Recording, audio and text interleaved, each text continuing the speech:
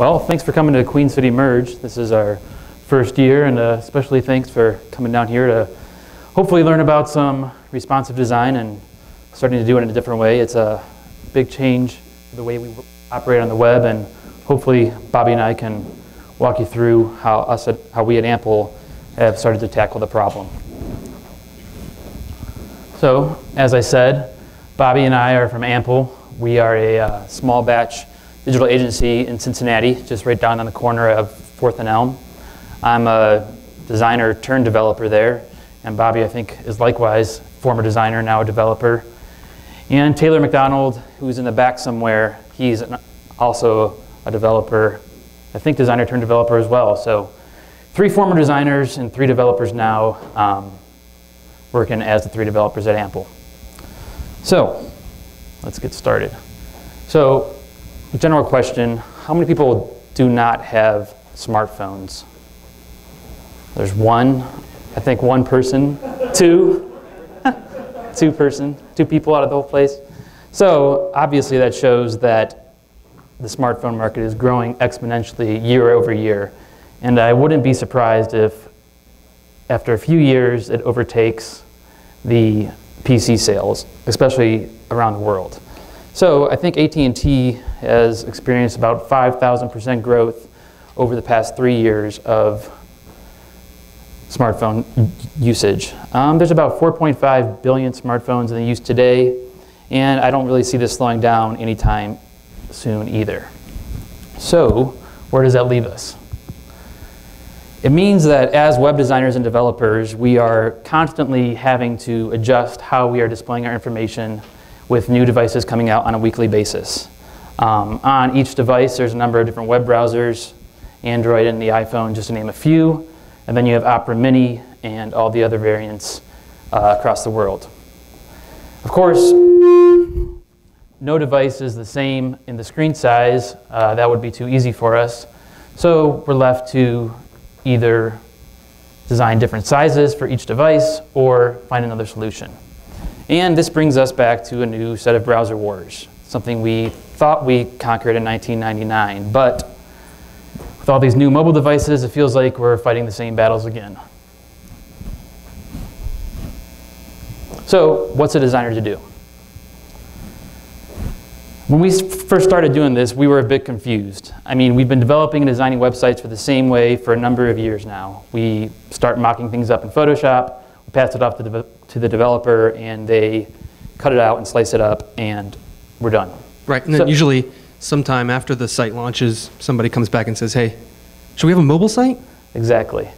And, or the client, something keeps happening. So, sorry about that. So let's try to talk through some options we can conquer the mobile site and the desktop site in the same stroke. So the classic way of doing it is to have a separate mobile site. I mean, it's probably pretty easy. It's what we're all familiar with. It's worked in the past. It caters to the device at hand. Um, and it really works for sites that are truly catered to a mobile, to a mobile experience, such as a airline site, um, a number of other sites. So for some sites, it is a good idea, but there are a lot of problems with that. I personally think that we can do a lot better in our projects without sacrificing content that's served up to our desktop users and leaving the mobile users left wanting more. I can't tell you the number of times I've been on a website trying to find the full site link, especially a news site um, or a blog site or what have you. I know there's something on there that I want to find. I've seen it on my desktop before, but I just can't find where it is, and I'm off 10 times looking for that full site link. It's usually a limited experience, and Oftentimes when I try to share something on my phone, I end up sending out the mobile link, which looks like total crap in a normal sized web browser. Plus, not to mention, us as developers are left to maintain separate sites, separate HTML, separate code, and all that stuff. Um, and honestly, I don't know how often we do maintain it. Usually the mobile site falls by the wayside while the desktop site keeps uh, progressing and the mobile site turns out to be crap in the end. So there's also mobile templates. A lot of these are offered by Tumblr, WordPress, you name it. You can usually apply these over your existing markup, or into your existing theme on WordPress, and they're fairly easy, they're efficient, they're familiar to users, and it doesn't take much time to implement them. But again, I think we can do better than that. These are a bit boring, um, they always show the same thing, and in the end of the day, clients are paying to, for us to do this, so I think we're a little bit above just trying to pawn off a template onto our clients for their mobile experience. But the good news is we have been doing the HTML and CSS for years now. So what we are proposing and what a number of other people are doing is using the same HTML markup and structure and content as we've always been, and we've been in this place before. So as I alluded to before, back in the web standards wars of 1999 through 2002, or even today for that matter, the man in the blue beanie, Jeffrey Zeldman, popularized the idea of separating structure from presentation. And it led to a whole range of things such as CSS Zen Garden, where basically they use the same content, same HTML, same markup, but just present it in different ways. So this is pretty much the epitome of the web, standards movement, using CSS to adapt the layout and look and feel to flow differently, but keeping the structure and content intact. So, if we can use CSS to change the style of the device, why couldn't we use CSS to change how we're presenting it to different screen sizes? And the good news is that we can. And a number of people have been doing this for the last couple of years. Responsive design was popularized by Ethan Marcotte a few years ago in a List Apart article. And it means that we no longer have to write another copy of HTML. All, this, all the HTML stays the same, all the content stays the same, and we don't need to publish two separate sites. The URLs are the same, and it, in the end, I think everybody wins. Here's an example of work we did at Ample where the desktop site's on the left and the mobile's on the right, and the markup and everything else stays the same, all managed by the same CMS, all the same HTML. So, as I was saying before, responsive design was coined by Ethan in 2010 or so, and I've been messing around with it for a couple years. Um, and what it is, is a system of fluid grids, flexible images, and media queries. So let's start with fluid grids. Fluid grids have been around for a number of years now, and they allow the browser to resize columns and reflow text and some content around the site. So that means all your content is laid out in percentages versus absolute pixel values or em values, and truly presenting a liquid layout. So as you resize the browser window, the content columns grow, shrink, and what have you. Plus, as developers, you could use a little bit of math, which is always a good thing, I think, but that's just me. Um, there are some problems with just straight up doing fluid grids, though. Um, it has been challenging to design a fluid grid to look right across a range of devices. I think as content grows, as your text sizes, text cells grow, it becomes unreadable and you're left with a huge paragraph, 120 characters long, that honestly looks really bad. So, an example of fluid grid is this formula here. Target divided by context equals result. Again, I don't want to get into too much detail here. A lot of good articles are online about how to actually apply this stuff.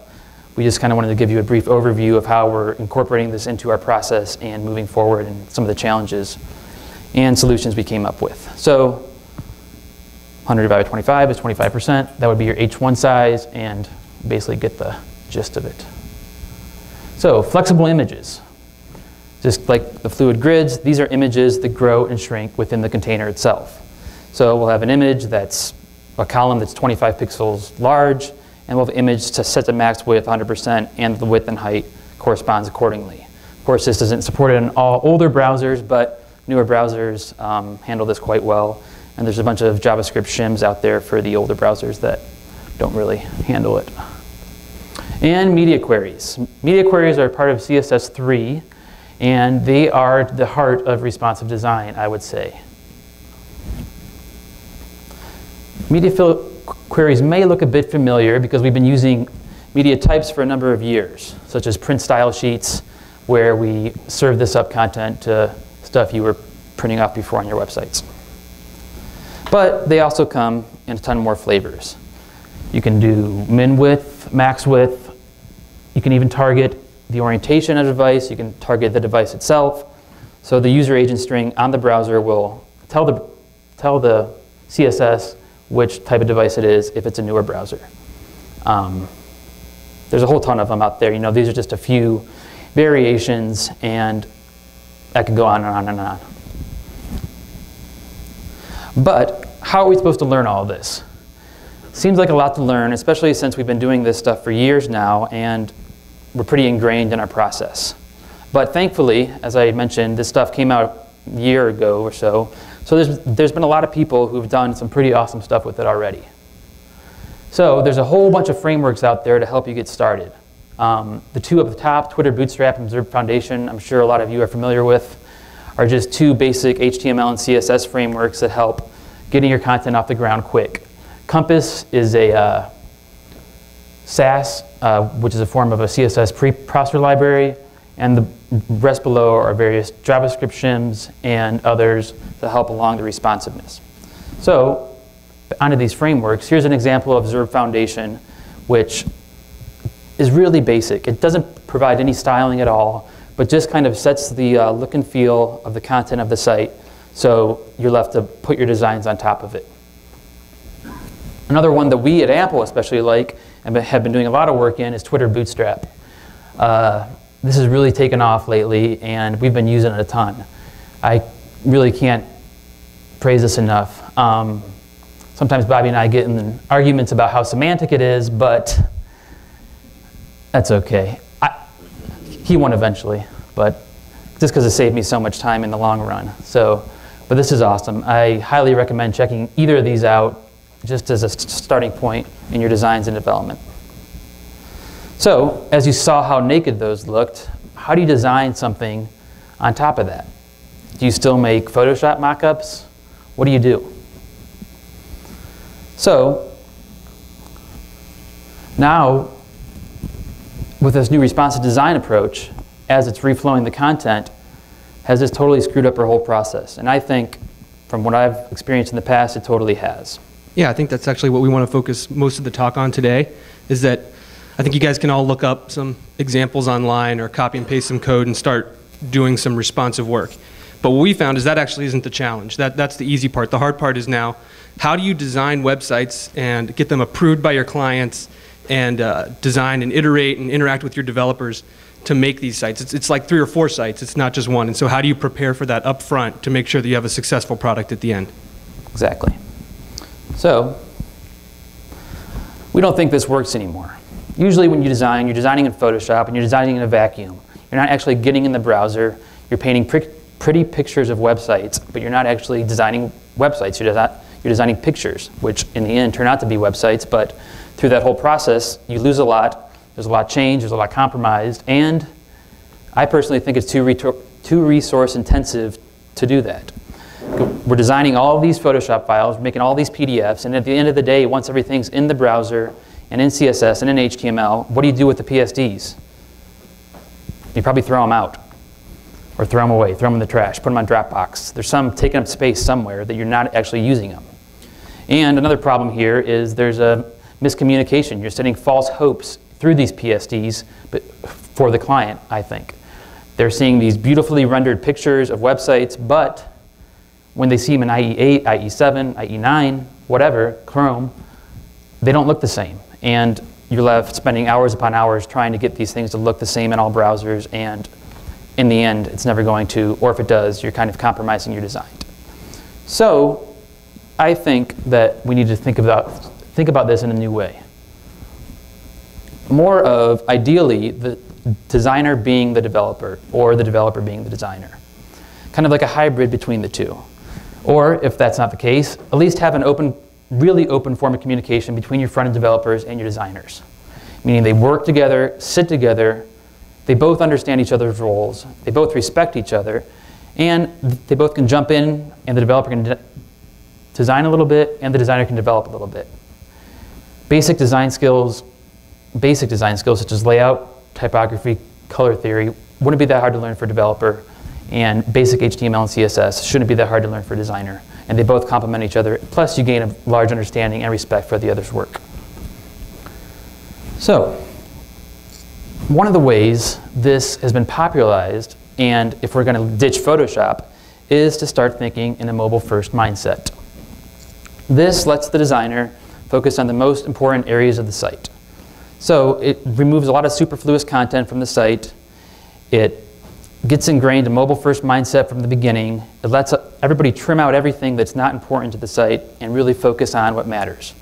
I'm going to a news site, I want to read the content, I don't want to see a bunch of ads, I don't want to see a weather ad, I don't want to see a deal chicken ad. I just want to see the news. So a good example that I saw at a talk a few years ago was somebody taking the Southwest site and redesigning that from a, from a mobile first mindset. So up top you have the, in the top right, you have the initial Southwest site and you have the right. So what this guy did, is he basically took it and said, look, we don't need this, we don't need this. Why don't we just focus on what's making the mobile site so effective and so simple and so awesome and put that on the desktop site with maybe some prettier pictures. Of course, let's take advantage of the desktop site with bigger pictures, with better, with better typography, but keep it as simple as possible. And I think this definitely improves the overall user experience.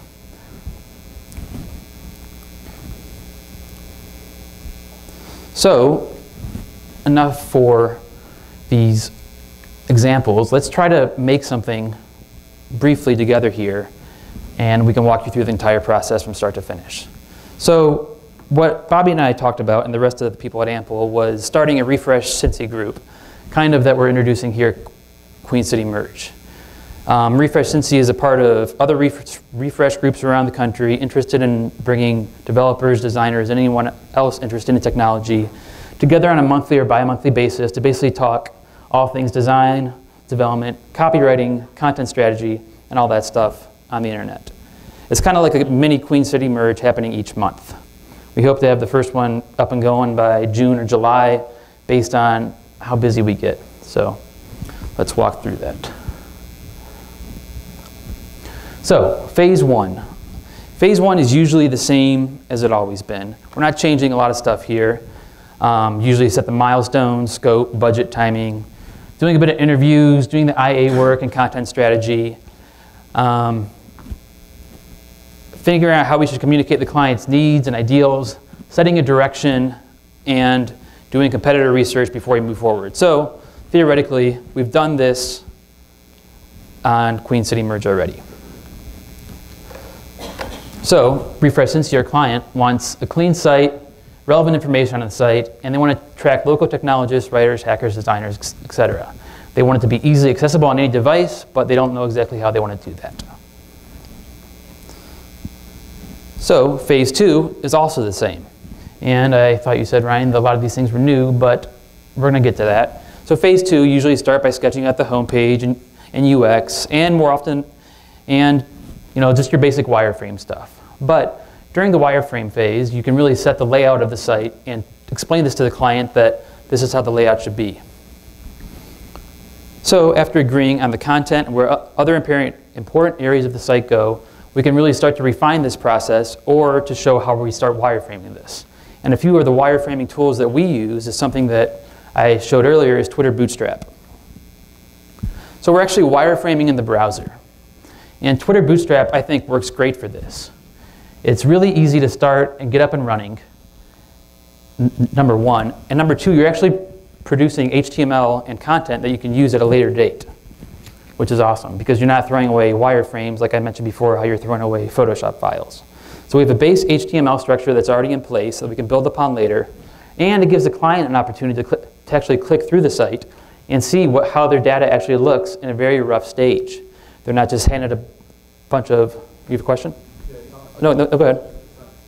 Um, no, go ahead. So when you finish, you hand your, like, like you actually, when you build, like, you've done wireframing and everything, do you actually um, keep the bootstrap markup, or do you go back and make it more semantic and more um, like, like a little bit leaner? Um, more often than not, we actually keep the bootstrap markup because I don't. I personally don't think I was under the impression I was a very big idealist in semantic web design uh, for a number of years, having everything named the class names be perfect, no span, 12 grid names in my CSS, in my markup, and as I develop more and more of these sites, I've come to folk realize that that stuff really doesn't matter.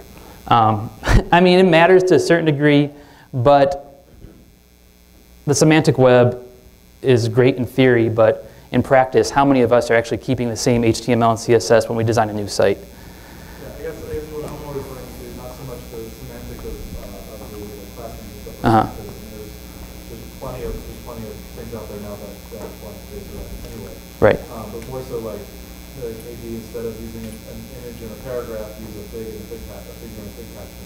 Right. Like that, where like, where like the bootstrap is, they make how you would to, to using a particular structure, but then like, it's a little bit better, you would actually um, change that, you can do whatever it is.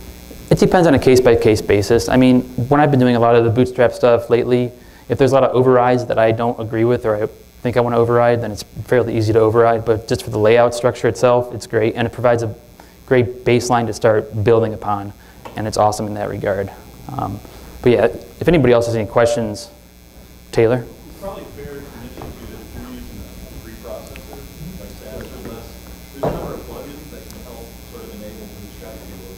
It's probably fair to mention too that if you're using a preprocessor, like Savage or less, there's a number of plugins that can help sort of enable Bootstrap to be a little bit more semantic. Yeah. And that most of the Bootstrap specific like class selectors are what's not semantic. They're not necessarily defining a particular element to the stuff and not, that should basically just be applying your span. Yes. So yeah, if anybody else has any questions, feel free to speak up. I'm trying to keep this as informal as possible, so honestly, just speak up whenever you have a chance. So, um, plus it allows the content to reflow in the browser if you're using the Bootstrap Fluid CSS. Oh, right over there. So, um, now that we have a base set of HTML and CSS that we can build upon, let's start with the design. But how do we design? This is something I touched upon earlier. How do we design for a fluid grid and layout capabilities if we're designing in Photoshop? We design multiple PSDs, one at 320 pixels, one at 540, one at 940? And if we do, what do we do with all those? So I don't think we do that. I was never a big fan of this to begin with, and I'm definitely not a huge fan of it now. I think it works better to forget your old way of working, and it's because it's practically impossible for the designer to do. We need the ability to present multiple comps to the client.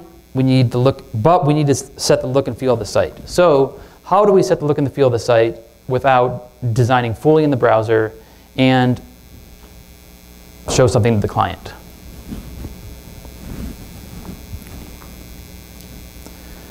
An idea popularized beginning of last year by Samantha Warren is the idea of style tiles. And style tiles allow the client to focus on the look and the feel of the site without being hung up on the layout. They're more detailed than mood boards, and they reinforce an identity without actually focusing on the layout, like I said.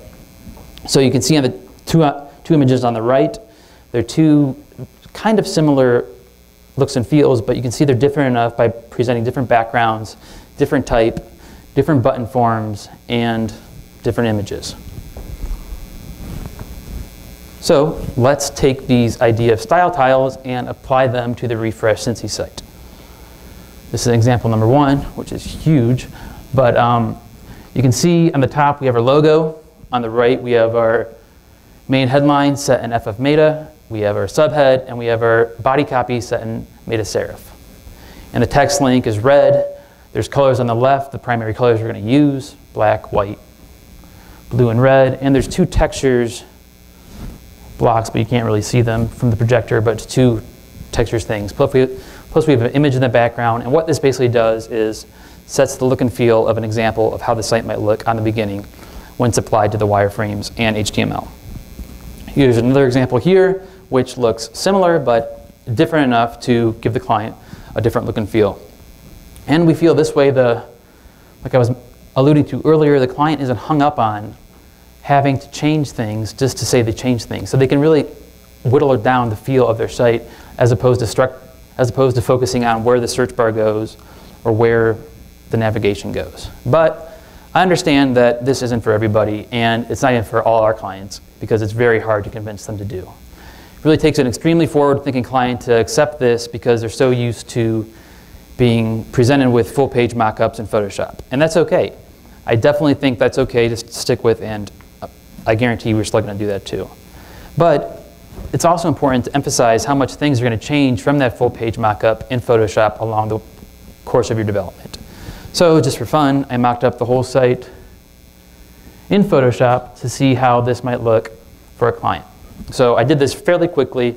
I didn't focus on a lot on very much detail, but it kind of does set the overall mood, look and feel of the site once we're going to be done. As you'll see along the way, things will change and things will adapt, but this kind of does set the mood for a client. The most important thing that if you do go down this road, do go down this road is not to overdo it. Don't start creating pages upon pages upon pages of site maps, site templates, because you're just going to hurt yourself in the end if you're approaching this from a responsive point of view. Yeah, so and, and imagine that if you took this style, this, this, this one page got approved by the client, and you took that in, applied that to those HTML and CSS wireframes that you had in Twitter, Bootstrap, you can imagine that that, that site has already come to life, and you've, you've really laid out the header and footer for all the pages. It's, it's now just individual elements that might need to get styled that weren't represented in this original mock-up. So you've just done 80% of the work for a lot of it without having to uh, mock up additional pages in Photoshop and get them approved individually. Exactly. And it's important to stick to your guns and remind the client that the web is a fluid medium. It's not print, and things are going to change. So, as we were saying before, this design development phase is really a, the most radical change in the process. You could either need a designer who can develop or a developer who can design or two people working extremely close together who completely trust one another and respect one another. So, once you get one of these people or two of these people, as Bobby was alluding to before, you take the wireframes that you already created in Twitter Bootstrap and you apply the styles that were approved by the client. Which is great because you save a whole lot of work. You already have stuff you already made, you already have stuff you have gained approval upon, and you're not throwing anything away, or little away. Um, designing in the browser, I also think, speeds up development time significantly. Um, for one, you're not wasting two separate resources trying to, sorry, you're not wasting two resources, hold on. You can take over if you want. Okay, better? So you're not wasting two separate resources, one person designing a bunch of PSDs while the other just sits around and then throws them away after they're done with them. Plus, if you're working that close together, you can really communicate and work through ideas in the process. You're not just one mind here, one mind there, and then you end up fighting between designers and developers. Your typography is wrong, this is too hard to implement. You can really have a better discussion going forward behind all this stuff. But it's also important that knowing this, the designer is also able to quickly jump into Photoshop, take a screenshot of the website you're working on, and mock up something, such as a side navigation if that really needs to be. Some people are better designing in CSS, some are better designing in Photoshop. Doesn't really matter, but the whole point is not to do the whole thing in a full page mockup. If you want to mock up a pull quote in Photoshop because you know you can do it 10 times faster and do 10 times different styles, I mean, that's definitely the way to go. And it definitely limits the miscommunication between designers and developers. And I think the client loves this as well, because at the end of the day, they're presented with a fully designed site, partially designed site, for the most part, minus any changes, on top of Twitter Bootstrap, which they've already approved. And it's a lot more hands-on than a bunch, 30 pages of PDFs that they're going to see. Yeah, a lot of the work we do is in abstract, and you only see pieces at a time. And I think the earlier that you can get a full picture, which I think these clickable prototypes do, the, it has been so much easier for us to uh, have our clients get their, their arms around the project and, and really see it come to life. It, it really makes it more real for them than these, these like 70 pages of these you know, black and white boxes. And to try to comprehend and understand what that's, that's doing is, very difficult. Mm-hmm. Plus, it seems like we're moving a lot quicker in this whole process anyway. Usually when you hand something off to a client, such as 30 pages of PDFs, they have to take, with, take it with them, digest it for a bit, give you their changes, then you get your revisions, and then it eventually goes to the front-end designer, and then they give changes, and it seems like we're moving a lot quicker when we go this process. And honestly, I think it's a lot less stressful, believe it or not. So, back to designing with mobile first. What we have found, and what a lot of people have found designing with responsive web design, is basically when you start, to start with the base styles first. So you start with a mobile first style sheet or a small screen style sheet first because this will help really set the mood and look at the feel of the site. So you're setting your typography, your background images, your textures, and doing this way will allow those browsers who don't support media queries to degrade gracefully to still show something that's presentable and readable. It's kind of like a uh, print style sheet for the older browsers who won't support them. All the content's still there, it's still readable, and it still looks nice, in my opinion. Um, you can use JavaScript shims to have older versions of IE support responsive web design, or you can stick with this. Um, it's really up to you. Also, starting with a mobile-first style sheet prevents, larger, prevents smaller screens, such as mobile devices, from downloading large images, especially large, large background images. So let's say you have a 940 pixel wide site, you have a beautiful large background image on the left, but you don't necessarily want to, want to show that to a small screen and make them download that if they're on the go, because they're not going to really appreciate it. It's not going to be in the correct design format for them. So this basically doesn't force them to load it because you're only going to start loading those as your screen size increases. So after we get the base styles done, we can really build up from there. And designing the browser and the base styles brings our refresh site to look something similar to this on the phone. All of these styles will be carried out throughout this site. Um, there's no superfluous images here. All the content's there and easily accessible because we've been designing from a mobile first standpoint the whole time. It's clean and simple, and it's direct. If you want to register for the conference, you click there, you see where it's at, see when it's at, and you scroll down and get more content. But basically, because we started from a mobile first standpoint, it's really easy and really simple. So, after this, where do we go next? And how do we know what device size to target? If you look on the right, if you look on the left, some of those phones on the left have web browsers. All those ones on the right definitely do, and almost all of those phones on the right are different screen sizes. So do we target 300, 320 pixels, 340, 350? Who knows? The device size is always going to increase, shrink as we move forward. And we want our websites to last as long as possible, as long as the design is So it's important to think of responsive design not in terms of device size, but in terms of screen size, whether that be small screens, large screens, medium screens, what have you. So you want to set your media queries to focus on the, on the design of the site, not the device. You might have an iPhone today, you might have a Zyboard tomorrow, whatever you want to have, make sure your website fits on it. So if we have the base styles done, and those all look good in smaller screen devices, why not move up a little bit to middle of the road devices such as iPads and larger tablets that are a bit larger than just a mobile device and see how our, our design is going to flow then. By doing so, we're allowed to add a little bit more design elements into it, such as floating things left and right, larger images, more background images, and a bunch of other design niceties. Excuse me. So after looking in Photoshop and our device for a little bit, we decided about 560 pixels is a good width for design and it, it really makes it look pretty nice. So enter our media query. What we're basically saying here is target the screen and a minimum width of 560 pixels. So anything larger than this will be served font size 1.5 EM, the event description will be floated left, and the width will increase to 33%. That was 100% before, it had no float. The font size was something different. So, after doing all that, we added a background image, well, doing all that and a lot more. We added a background image to the below. On the refresh Cincy description, we floated the description to the left up top. We floated the date and time to the right. And we're able to better target larger screens based on their size and make it really shine.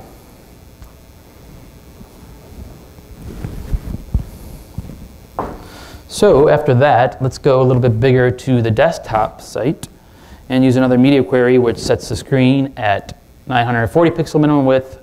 And again, we're increasing the font size, maybe increasing the event description a little bit, and using our handy formula of target divided by context equals result, which is the basis of fluid grids, which we talked about earlier.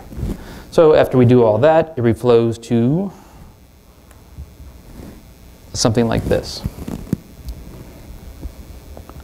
So obviously this is similar to what we mocked up in Photoshop before, but definitely a lot different in the end.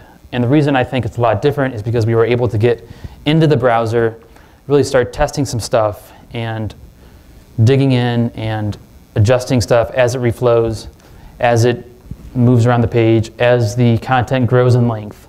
And it's very similar to what we had, but in the end, it's different. So this hopefully showed why it's important to focus, why the content is not going to be a per picture perfect painting of the Photoshop file.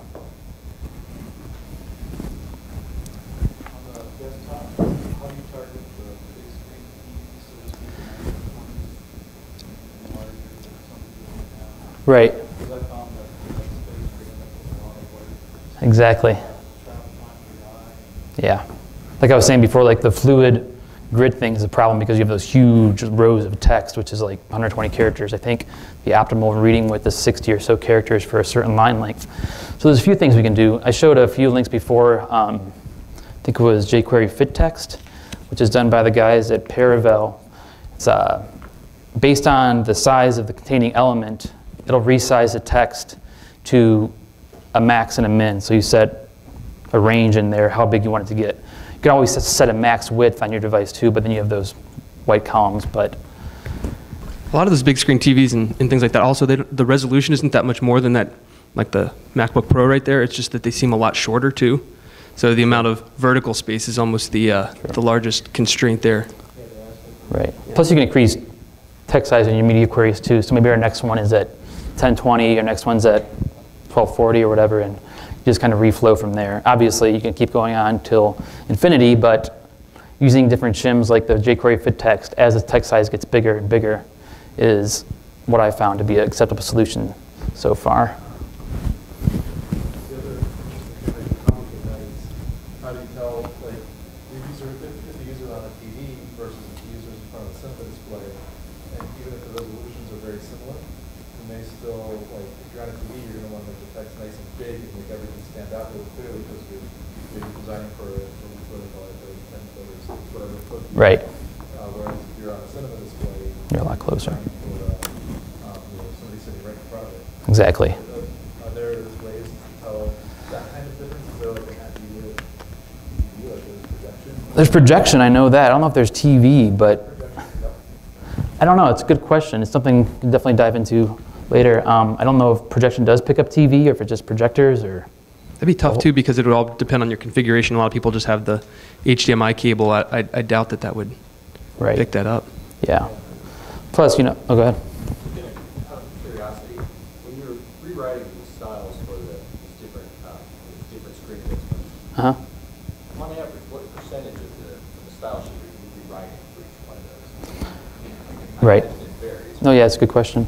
Um, a lot of the base styles, like I said, stay the same, but it's really getting in the browser and really finding out how it looks and how it feels. You know, if text is too small, you obviously want to resize that. If text is too big, you want to resize that. Uh, basic percentage, because we're designing from a mobile first standpoint, that we want everything to be clean and simple, I don't necessarily change a whole lot. 25% maybe, if that. Not a whole ton, but mean, around then, around there. So it's better than designing a whole separate mobile site. yeah, yeah. Working in this type of mindset, um, you can compare it to your work before doing this, I'm sure you've been doing this for a while though, but do you find it to take a longer period of time from beginning to to midpoint to end when working with a client, when you're going with this approach, or is it less time? Like, to me, it's just, just by looking at it, I would think it would, it would increase the time. You know, so, you know, I need a second, six months. Right. I actually think because we're cutting out all that design in Photoshop and we're not sending PDFs over to the client anymore, I think it almost balances out or is even shorter. Yeah, I, I would think it's for us. It's been shorter in that the the elapsed time. Um, before was, was about 70% of the work was, was completed by designers. So if you imagine a designer in InDesign making wireframes for a few weeks, getting those approved, then a designer working in Photoshop for a few weeks and getting those approved, and then all of that data dumped on, on a developer, and then he would work for those, that number of weeks to build that. Versus now we're talking about those wireframes are in HTML with the developer. A lot of that design after the initial comps are with the developer, so it's like two people working at the same time. Maybe it's the same amount of work, but at least now it's completely overlapped, and so you can say that's like a 50%. It's like the designer's time is almost increasing, so it takes longer for the client to see the final designs, but it takes shorter time for the developer to give them the full site. So you're kind of smushing the two, and in the end, probably ending up a shorter time. So.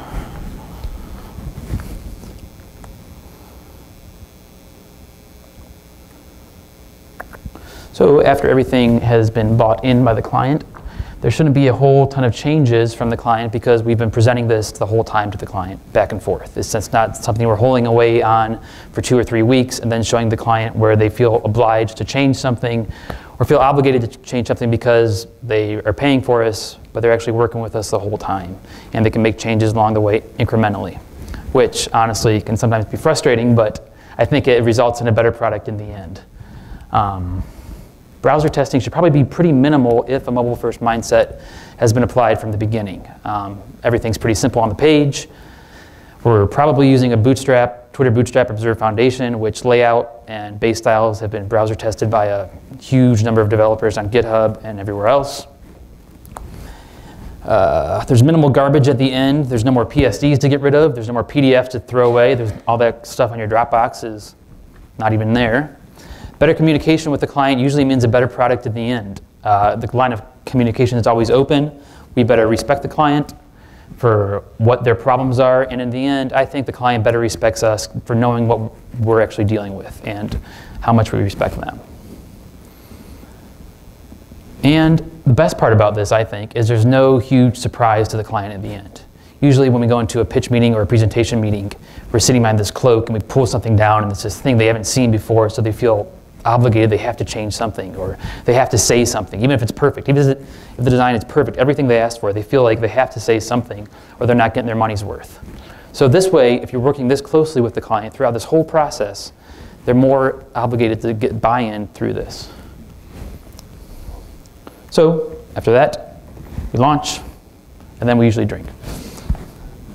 Uh, a few caveats with responsive design, though. There's definitely problems, nothing is perfect especially not responsive design. Um, number one problem that I've come across is there's no solution for loading different sized images, or not an easy solution for loading different sized images to different sized devices. So something I touched upon earlier was what if you don't want to load a large background image to a small site? You can accomplish that through CSS, but what if it's just an image tag? How is the browser going to know not to load that image tag on a mobile device, but load the big image on a desktop device? Or if you do want to load the images in both places, but one is 50% of the size of the other, that's a huge right. uh, file size different, difference. And obviously on the mobile, that you know every kilobyte matters. Mm-hmm. There's a number of server-side solutions out there. Uh, we at Ample have been using uh, Dragonfly uh, through Rails to serve up different size images based on the type of device you have. But you might not necessarily have that solution at your disposal. There's a number of JavaScript shims out there which are really increasing um, day by day. There's a huge debate every time you look online about what solution is the best, how we target this, and how do we do this. The biggest problem that I've encountered with this, or I've read about with this, is the recent design of the Boston Globe site, because that's being served up to millions of people on a week, and they're serving up millions and millions of bandwidth images, and if you read or search for responsive design Boston Globe, you'll find a whole wealth of information out there that's tackling this exactly the same exact same subject. So another caveat is there is no support on older browsers such as IE7 or 8, which, as I mentioned before, is okay if you're okay serving them a very basic print style sheet or if you're okay using a JavaScript shim. Once you start putting all these shims in your project, though, you do risk slowing down your site in terms of load, in terms of maintainability, and all that stuff. You also need to educate the client in this, in this change of process, which, is, which can be hard. Um, they're used to doing things a certain way for the past 15, 20 years. and then a new agency comes in and says we're going to shake things up, it could be a tough pill to swallow at times. You know, they might be surprised you're not going to show them their full site design in Photoshop and three different comps and all this stuff they like they think they're paying for. But sometimes a better education is worth it. And as I hopefully touched on before, this is pretty hard to incorporate into your current workflow. I'm guessing a lot of people work in established design agencies that have been around for 15, 20 years already and have a pretty set process to get in there. Everybody's set in their ways and they're resistant to change. But one of the first projects we did at Ample about this was a smaller project, so it really allowed us to get our hands dirty and to take a little bit more time and to play around with it. So maybe if your agency is struggling to adapt this process, maybe take it on your own to do a side project for your agency, maybe an open, an open source project you guys have released, or something like that, where you can really start to experiment and show this to your um, owners, bosses, whatever, that this might be a solution for you.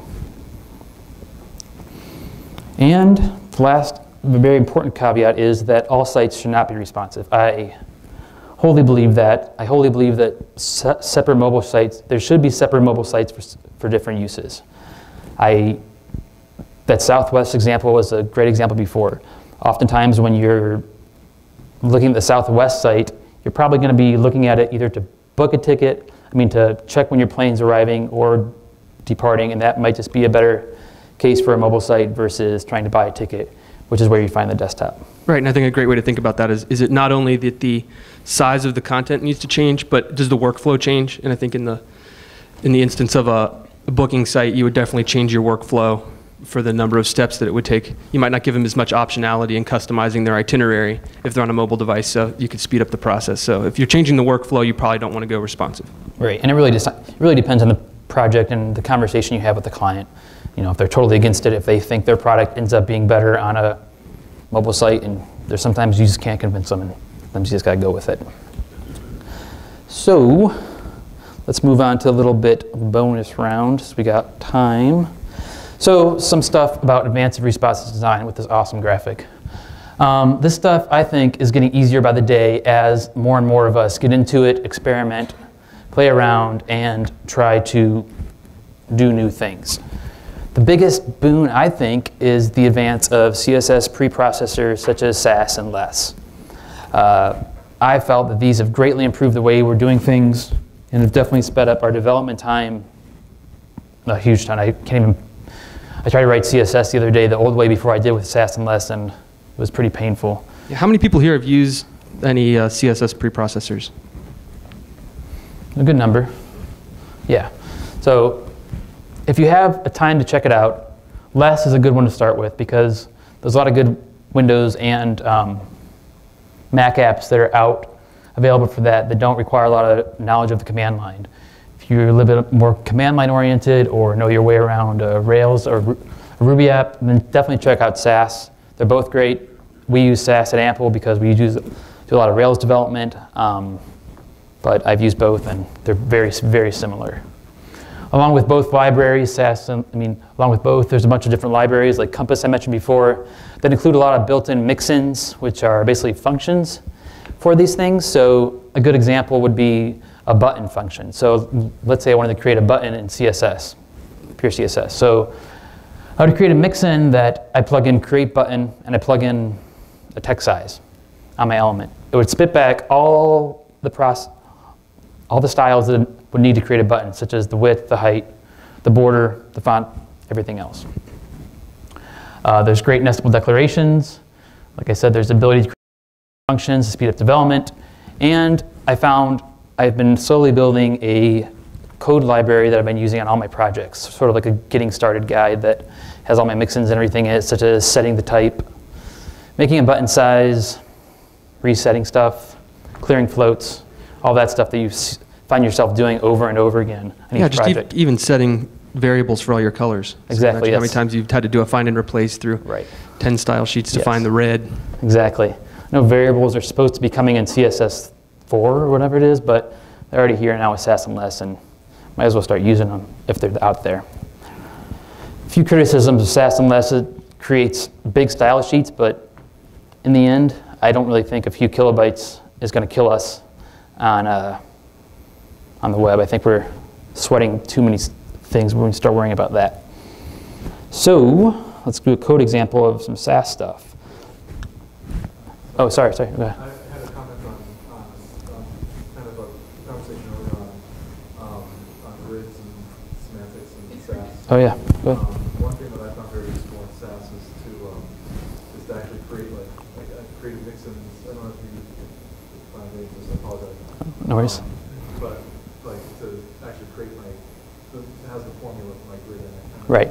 Instead of having a bunch of classes called grid dash, you know, and I would have, uh, I would have a regular class for that, for a module and then. that- Right. Yeah. There's a, I think on a yeah, no, no problem. There's a previous slide, I think. It was called Susy Grid.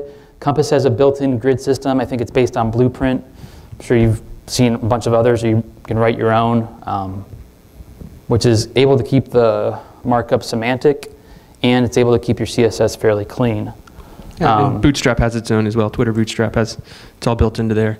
But Where you can customize your grid, number of columns, amount of space, and then it'll redefine all of that for you. based on the variables, which is an example next. So as Bobby was saying before, we can set variables up top, such as break small, break medium, and break large. And as opposed to defining a grid here, I'm going to define my media queries through Sass. Um, this mixin type is in Sass 3.2, which I think still is in beta, which that content object there will be spit out based on the if statements. But basically what this means is you can start doing if statements in your CSS. So, for example, we set up our mixin here, which is a function that can detect the tiny screen, small screen, medium screen, or wide screen, and based on that, apply the appropriate styles. So, this allows us to write a media query next to our base styles, and I think maintains the overall readability. So up top, the event details, the width is 100%, the float is none. Below that, we include our Sass mixin, which says include respond to medium screens. We float that left, we make that 63 63%. And below that, we respond to wide screens, increase a little bit, bet, a little bit more, and then we close out our Sass at the beginning, at the end here, which might look a little funny now to those um, who aren't used to less than Sass, but spend around a day or two, and it's pretty easy to pick up. Um, like this, unless, and like my non-semantic stuff, I was pretty resistant to change. Um, I was a pretty big stickler in clean CSS before, but after working this for a few weeks, I really uh, jumped up the bandwagon full steam. I also think doing it this way, um, even using Sass and less, helps developers make changes easier in the future. Keeps everything better organized, and it's better for working on a large team. Um, some of the things we've been trying to work through at Ample is a better way how to do object-oriented CSS, which basically is separating our CSS blocks into different objects so multiple developers can work at a time and it's not all in one developer's head saying this is how I organized it, but kind of standardizing the process.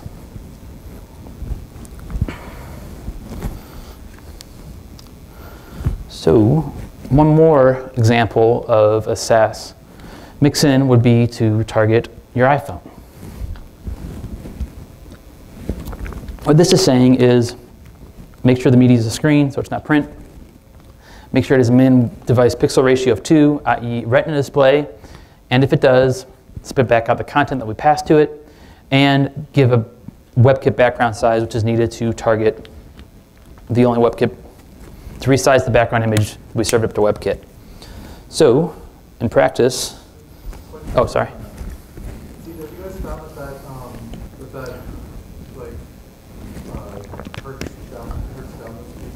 That that, um, that that, no, because right here, we're not going to serve up the, I don't mouse there. We're not going to serve up the ICO dash time at 2x to anything other than is a retina image, the, it, the is a retina display. So we're going to serve up the regular size um, image to every other screen, every every other mobile device, but what our media query does here and our mixin does is say, hey, if this is a retina display based on that WebKit, whatever the thing that means, device pixel ratio 2, then we serve up the content block that was passed to it, and we include the variable, the uh, function arguments in the top where it says 41 and 48 pixels.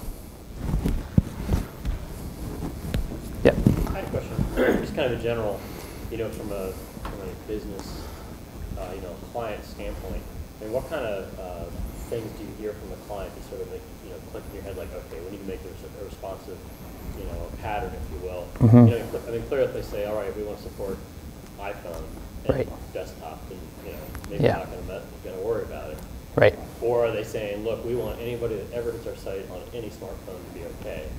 I mean, you know, Where's the in between that you kind of hear and think, all right, we should go into that? Um, as we develop for the web more, I think it's largely starting to be irresponsible for us as designers and developers not to serve content that's accessible and approachable to mobile devices from the get-go. Um, as I tried to show before, everybody's buying a new mobile device every day, and my mom doesn't use a computer anymore. My dad barely uses a computer anymore. These are, they're either looking on their iPhones or their iPads. They don't even use laptops anymore. So all the personal projects that I usually do are all responsive just because I'm a dork and I like to uh, challenge myself on that kind of thing. But uh, to your question, I think if it's almost any site should be responsive unless they want a separate mobile app and they have time for it. It's not a rush job of a site. If they need it done next month, then you're already familiar with your current process. Um, stick with that. I mean, but if you do have time, I think almost every other site should start to move that way in the future, just because mobile is continuing to grow and I don't see it slowing down. Yeah, I think almost everything soon. that, that we work on has like a mobile component. It's always something folks want to think about, especially for the, the uh, clients that have those use cases where they know that business is transacted or, or they have clients using that, the mobile device. But I'd tell you that the biggest thing that we hear from our clients right now is making sure that when we start a new site, it's like, I want it to look great on the iPad. And that has been one of the biggest uh, drivers for us in, in using technology like this. Is It's really helped us to give them uh, great experiences on that iPad because they've got their sales teams taking that out and doing demos, and they're like kind of dropping PowerPoint and using their website on an iPad to actually run their, run their new business pitches, which I think is really cool. And if you get good at this, I mean, if you get good, this is really familiar to you, and the client doesn't even ask for it, and you develop this way, and then one time they're checking on their fight, they're checking their site on their phone, and they see something that looks awesome on it, and they didn't even ask for it. Like, whoa, how did I get this for free? And you're like, well, you didn't. This is responsible development these days. This is how we do it. This is how we should be doing it, if the site calls for it. So, going forward, as I mentioned before, Refresh Cincy's first meetup will probably be announced for sometime in June or July. Um, refreshcincy.com, the site isn't live yet, but the GitHub repo's here. If you want to take that, clone it, mess around with it, is all the code that I, all the code examples I had there before. Just make sure you download it. I think it uh, requires a few things, but other than that, it's, uh, it's all up there and available for free. Let's see here. It requires a, let's see, I'll try to put up the static version on there. Right now requires middleman, which is a Ruby, uh, it's too much detail. It's a Ruby server thing, which uh, you have to install, but uh, I'll put a simplified version up there after this talk, sometime after there. So, if there's any outstanding questions, which I definitely welcome, How do you guys handle navigation? If you have a fluid grid and you have a lot of navigation, sometimes it'll stack. Right.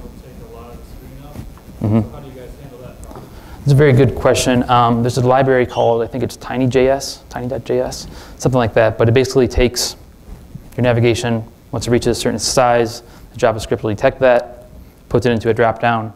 That would be good on a small screen device. Yeah. How do you guys handle like um, accessibility? Like, so, so you, talk a lot about responding using JavaScript libraries. Mhm. Um, how do you handle that? From, uh, or do you handle that from an accessibility perspective, like for for um, the system devices, or like, um, you know, I know iOS has a lot of uh, like have a screen reader built into it and things Mhm. like that, but I don't done a lot of testing with that. Do you guys, Right. do you guys test with that kind of stuff? Yeah, one of the clients we just uh, we're just working on now is basically a uh, reading for the visually impaired, and I think if you create good markup in the beginning, it's clean, semantic, and you're serving up a basically, like I said, a print style sheet to older browsers. If the markup's clean, good class names, good heading tags, it's going to be accessible. Um, Yeah, Yeah. another, that's another benefit to Go Responsive versus a separate mobile site is using the best practices for accessibility on the desktop site. You've already got that baked into the, the mobile version, so you don't have to worry about checking that code twice. Mm -hmm. Agreed. Anybody else have any questions? Yeah. Do you have the presentation available somewhere? Yeah, yeah, I can uh, put it on, uh, what's that thing from ordered list? What's that called? Is that speaker deck? Yeah, speaker deck. I'll put them on speaker deck.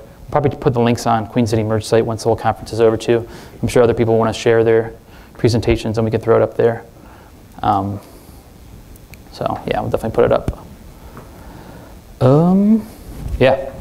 How often are you actually uh, having clients uh, come to you that are concerned about how large images are going to take to load and bandwidth concerns from the clients?